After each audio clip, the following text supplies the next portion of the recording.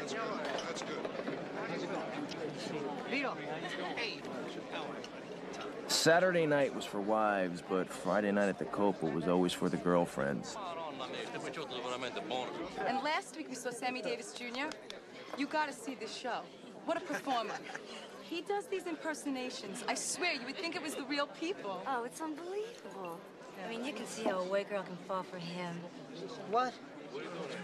Well, I mean, not me. I'm just saying, like, you can see how some girls could, you know, like that Swedish girl. In other words, you condone that stuff.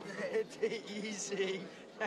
Oh, Andrew. I know, I know, Just want to make sure I don't end up kissing fucking Nat King Cole over here. No, I'm not talking about me. I'm just saying, you know, you can see how a girl could. You know, he's got personality. Oh, of course. yeah. Personality. Minkä on kuitenkin kautta personality. He's very talented. I understand perfectly what you're saying, but you have to watch out sometimes how you say things. You know, people get the wrong impression.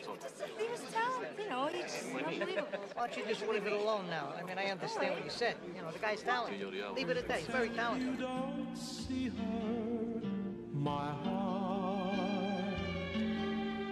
Although she is coming our way, pretend you don't need her, my heart. But smile and pretend to be gay. It's too late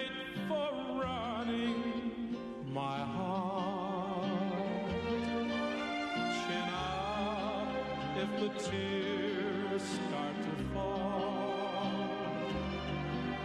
Look somewhere above her, pretend you don't love her, pretend